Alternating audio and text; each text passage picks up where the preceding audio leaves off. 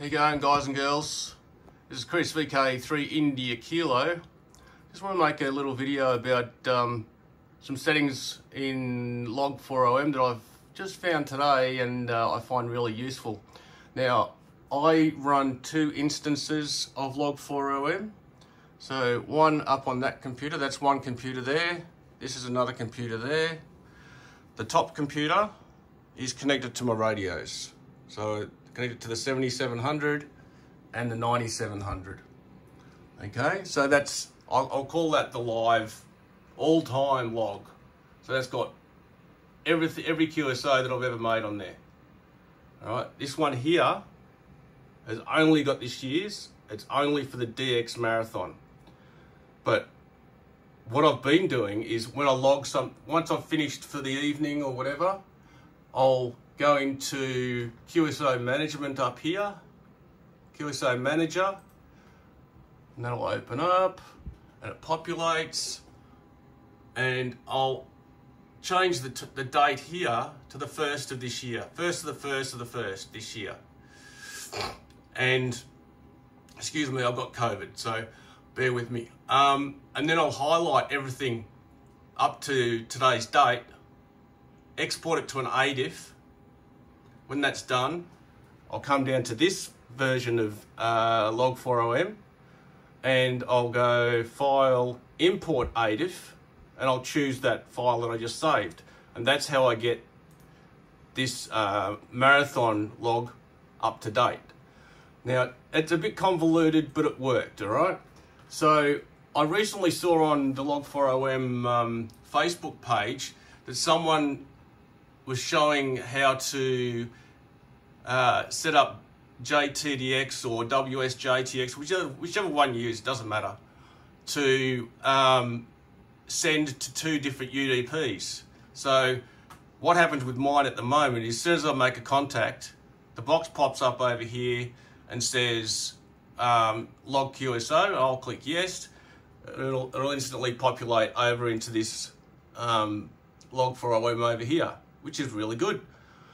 But this guy was saying that you can go in and um, go into the settings and go to the second UDP server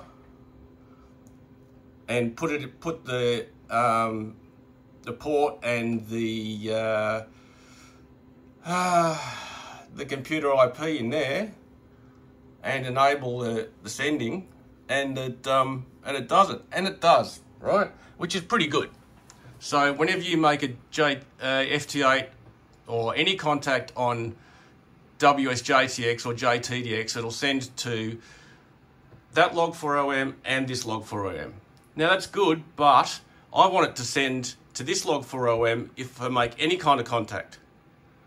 All right?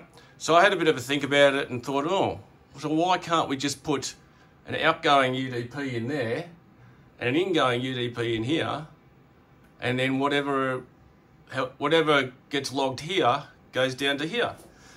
And I've made it work. So if we go into um, program configuration, where's it going to go? There it is. And then to connections. Now I've put this one in here which is an outbound ADIF message. The port I've used is 2230. I've called it QSO to Marathon. Now, when you do that, you can call it whatever you want. It doesn't matter. All right. Make it the ADIF message. Um, and then you put the destination IP address. So whatever the IP address is of the other computer that your other version of Log4OM is running on. All right, so I put that in there. Then you hit save and apply. And then you come down to the other, the other computer, program configuration, uh, go to connections, and now inbound connections, you make another one which mirrors the other one. So UDP inbound this time, ADIF message, same port number, 2230, and I've called it QSO from main. Okay, hit save and apply, and that's it. So now, whether I make a contact using the JT software over there, or straight into Log4OM here, Um, so if I go into recent QSOs, right, you can see that my most recent QSO was the four whiskey um, on 20 meters FT8. So that came from over there, all right? And it's in there as well. And so is the KH8 below it. Now, just to prove it, if I go into call sign field up there and type in VK3GWS, all right, it populates. I go over here, hit save QSO, and there it is. It's in there straight away. It's a beautiful thing.